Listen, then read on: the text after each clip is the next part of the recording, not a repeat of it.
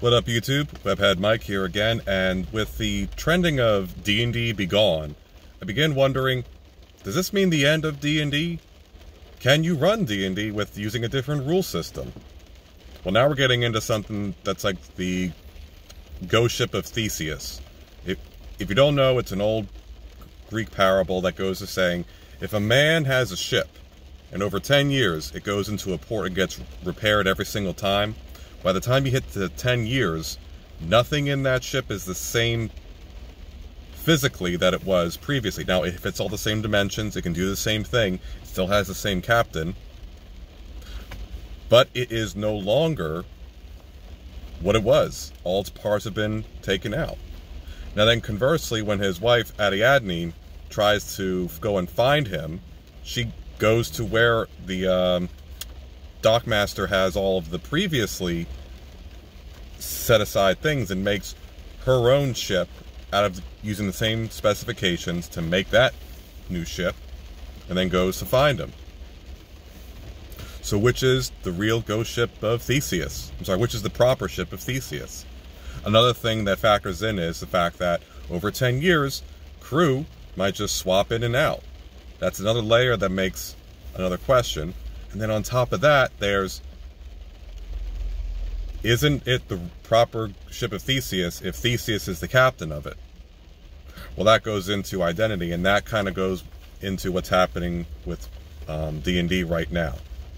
A lot of people are, I'm, I'm sorry, some people, some people out there are saying that you can't run 5e anymore at your local friendly local game store. You have to run Pathfinder or someplace else. And don't you dare buy dice and play D&D with them. Oh, we'll blacklist you. I, I really doubt that's happening.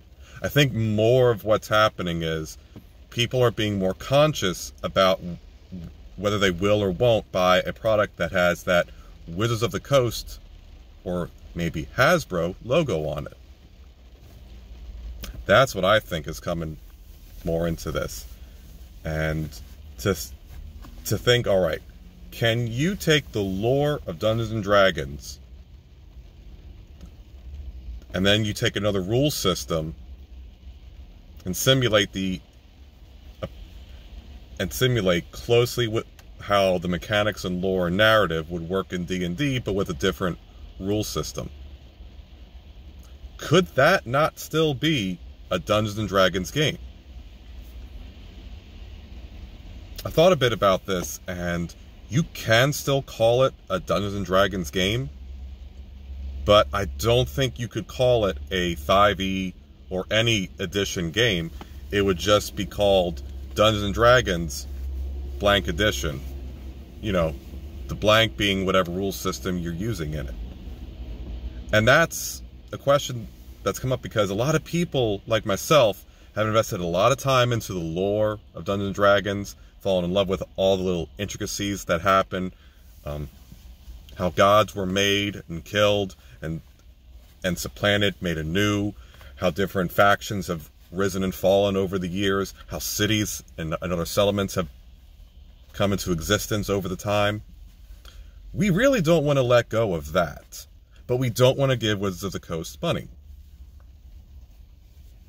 So what can we do? Well, like I said, one way would be to find another game system that can simulate what you would want to do. I mean, Pathfinder might be one option to go with. You can always go with um, Fate Accelerated, which will do anything. I mean, it's a little, it's a little, um, what's what I'm looking for, unsophisticated. It can still do everything, but it won't have the the intricacies that you might want, especially if you're a big thinker. Another one would be Index Card RPG. I mean, that also can run anything, but it has a lot more freedom to adapt to whatever you're looking to make. I guess another one would be Genesys. They already have a fantasy setting. You would just have to look at, okay, how do I adapt some of these things into these elements? Like, if a beholder is going to use its death ray on me, how would I resist it? Well, you know, you know, you would look at okay, is it a is it a dexterity saving throw? Well, then you would make an agility check. Is it a disintegration ray that that make me roll a con? All right, well then you're going to roll your resilience. Or in the case of you know a death ray or something like using a dexterity saving throw, you would use agility or maybe specifically coordination. You have the option to do this, and uh, and ultimately there's also the nagging feeling in the back of our heads that will we stick with this or will we go back to Wizards of the Coast Dungeons and Dragons?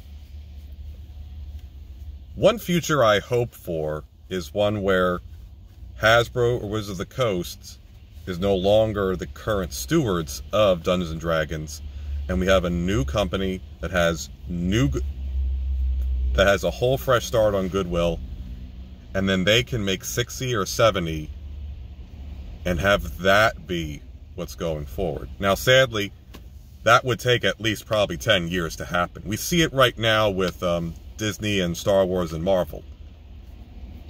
It was about back in, what was it, 2017 when we saw The Last Jedi and went, good God, this is awful. I mean, we had, I mean, we had some problems with The Force Awakens, but we had so much goodwill going into it, we were willing to give it a shot. And a lot of us did. Then we saw The Last Jedi and said, oh no. Any, any hope we had died with Luke fading into oblivion in that movie. The amount of disrespect that was shown to Han Solo in The Force Awakens and then Luke Skywalker in Episode 8, we said, without respect, we reject. Now, again, we're only so much of the population that would look at that and interpret it that way. But now you're at a point in 2023. What is that, six years later? Now all of a sudden, any word of a Star Wars movie? Oh, there's crickets. And now all of a sudden in 2020, sorry for that interruption, I had a call coming in. Now we're at 2023 and there's crickets around any potential Star Wars movie coming out. I mean, there's supposedly Rogue One right around the corner, but I've heard nothing about principal photography, filming, props, writing. Patty Jenkins um, might be doing her own thing. Who knows? Also, where was the Rian Johnson trilogy? Where's the um, Benioff and Weiss or whatever it was that was supposed to, that was supposed to be coming from Game of Thrones to do a Star Wars series? Nothing from them. Uh, a Boba Fett movie. Oh, that was made into a CW level TV show. Same with uh, Obi Wan. Oh, don't get started on that. You're not seeing exactly a healthy brand, and we're now hitting that point with Marvel where movies that should be hitting like a billion or so, they're they're coming in just under or way below expected. Now, I myself was saying, okay, Black Panther, Wakanda Forever, that might be their one hope to hit a billion, but even I said that'll maybe make 800 million in the box office. And I think now it's teetering about 820, 830. Because it's a Black Panther movie that doesn't have Black Panther. And I'm not the I, I know I'm not, I know I'm not I know I'm not the first one to say this or think this. But here we are, many, many more years removed from this. And now, Bob Chapek was fired in the middle of the night on a Sunday night to have Bob Iger come back in. Does that sound like a healthy company to you? We'll have to see if there's going to be a similar trend that'll happen at Wizards, Wizards, of the Coast or Hasbro. Now, I don't think Hasbro's in any um, I don't, I don't think Hasbro in, has any impetus to release control of Dungeons and Dragons so soon because they might still be able to refacilitate this. All you would have to do to restore confidence with us RPGers is put out a message saying, "We have heard your outcry, D&D fans, and we are now suspending Cynthia Williams as head of Wizards of, of, of, Wizards of the Coast and will be seeking better avenues to go down, and we wish her well in her future endeavors. That's all you'd have to do. At least somewhat, because also, like with uh, Star Wars, when Mando Season 2 finale happened, we were all happy to see Luke Skywalker come back, be shown at least some respect, even if it was only a few seconds. And then all of us were talking about, ooh, is the Ahsoka series going to come in and give a rewrite to the Disney sequels?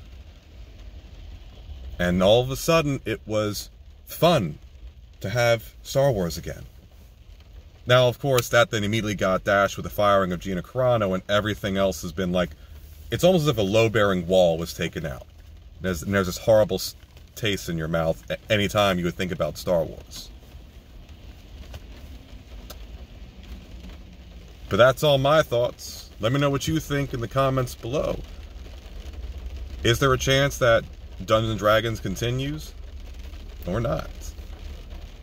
Am I, am I missing something? Well, anyway, I thank you for your time. Please consider hitting the like button. And until next time, WebMike out.